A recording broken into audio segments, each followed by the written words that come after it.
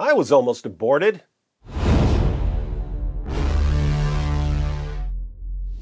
My mom got pregnant with me when she was 15. My dad was 17 at the time, and he was a drug dealer. So, having an abortion, getting rid of this old lump of cells, would have been a pretty convenient move for both of them.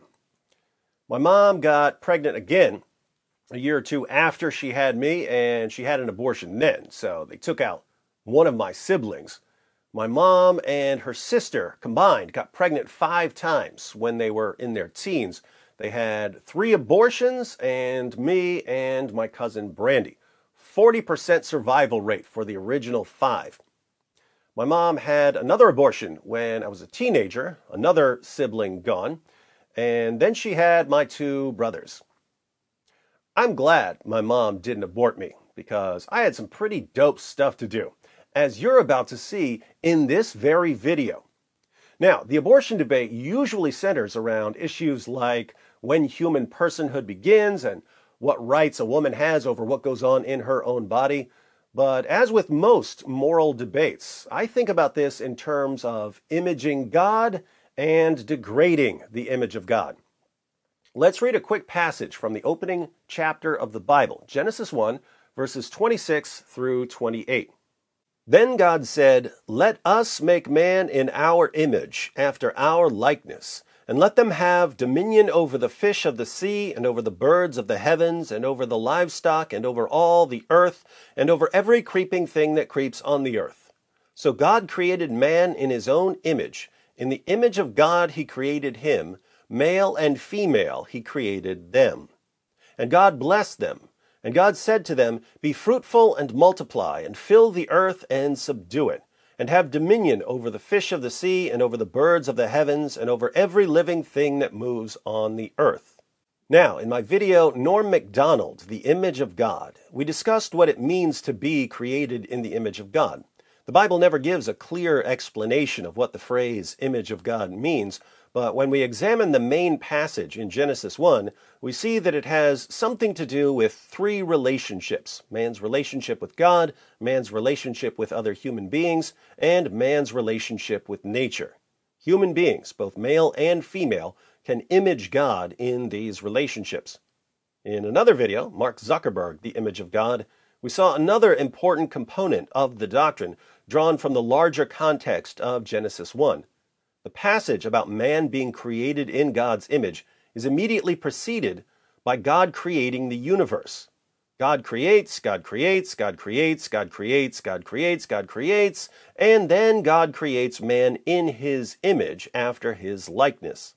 One possible implication of the passage in context is that man is supposed to image God in creating, like when we make epic videos. But now we're going to look at another way human beings image God, namely in producing children. In Genesis chapter 5, we read, This is the book of the generations of Adam. When God created man, he made him in the likeness of God. Male and female he created them, and he blessed them and named them man when they were created. When Adam had lived a 130 years, he fathered a son in his own likeness, after his image, and named him Seth. God created man in his likeness. Then Adam fathered a son in his own likeness, after his image. I've seen a lot of people claim that when the Bible says Adam fathered a son in his own likeness, it means that Adam's offspring were no longer the image of God because of sin and the fall. So Adam and Eve were created in the image of God, but they sinned, so their children were no longer the image of God. But we can't agree with an interpretation that contradicts what other passages about the image of God say, and Genesis 9 6 and James 3 9 say that people long after sin and the fall are still created in the image and likeness of God. At most, you could say that since Adam fathers a son in his own likeness, he fathers a son who no longer images God properly, even though he's still the image of God. You could also say that since Adam's descendants are the image of God and the image of Adam, we're constantly confronted with a choice. The choice of whether to image God in our relationships with others or to image Adam in those relationships. When we image God, we somehow reflect the eternal nature of God. When we image Adam, we reflect a kind of selfishness that seeks to replace God with something else. But let's think about how human beings image God in producing children. In Genesis 1:26, God says, "Let us make man in our image, after our likeness." Let us make man in our image, after our likeness. When you first read this, you might think that God is talking to the angels or something, but man isn't created in the image of angels. This is the triune God. Man is created in the image of the triune God. Based on this verse, some have claimed that God is telling us that each human being is a kind of trinity composed of body, soul, and spirit. But there's nothing in this passage about body, soul, and spirit.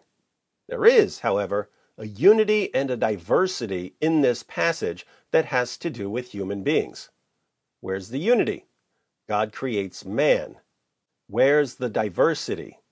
Male and female. Watch what happens when we go back to Genesis 5. A son is generated within Eve's body. Eve, with some help from Adam, generates a son. Remember, Eve is the image and likeness of God. Eve, who is the image of God, generates a son, who is the image of God, and thus Eve and her son image the eternal generation of God the Son within the nature of the Trinity. Keep in mind, a human being generating another human being is very, very different from eternal generation. All of the ways we image God are finite, temporal reflections of the infinite, eternal God. But Eve generating a son does image the eternal generation of the divine Son. Look more closely at this passage, and you'll see something else. Male and female were both named man. The Hebrew word for man here is Adam. So, Adam is a generic name for humanity, similar to our word mankind. In fact, many translations translate man here as mankind. But there's also a specific person who's named Adam.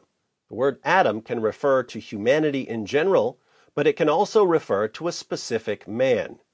So, Adam is Adam. Adam, the person, is Adam, the kind of thing human beings are.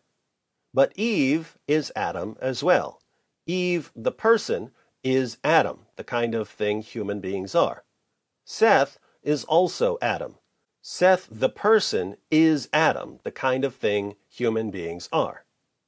Adam, the person, is not Eve, the person. Eve, the person, is not Seth, the person. Seth, the person, is not Adam, the person. But Adam is Adam, Eve is Adam, and Seth is Adam. Look familiar? It should. It looks very similar to a conceptual diagram of the Trinity. To be clear, once again, the triune God is very, very different from human beings and from human relationships. The triune God and the relationships within the triune God are infinite and eternal. Human beings are finite temporal images of the infinite, eternal, divine nature. Persons of the Trinity share the same divine essence. Human persons function as separate beings.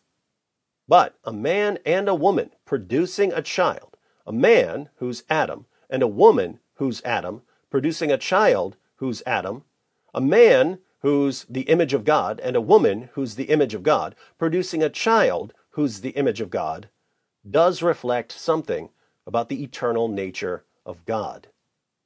So, human beings are created in the image of God, and we image God in a lot of different ways.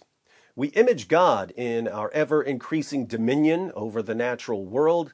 We image God in our relationships with other people. We image God in our love for the persons of the Trinity. We image God when we create things. We also image God when we produce children. When a woman, who's the image of God, becomes pregnant, another image of God is actualized within her. Before, there was only the potential to produce another image of God, the potential to image God by producing the image of God. But at conception, the image of God is actualized, meaning that unless something stops it, the offspring generated within her will continue to develop the capacities to image God. In generating an offspring, the woman images God by producing someone who is the image of God. In generating an offspring, the woman and her child image the eternal generation of the Son. In sharing the same human nature with the man and their offspring while remaining distinct persons, the woman and the man and their offspring image the triune nature of their Creator, in whose image they were created. But the man and the woman also image our original parents.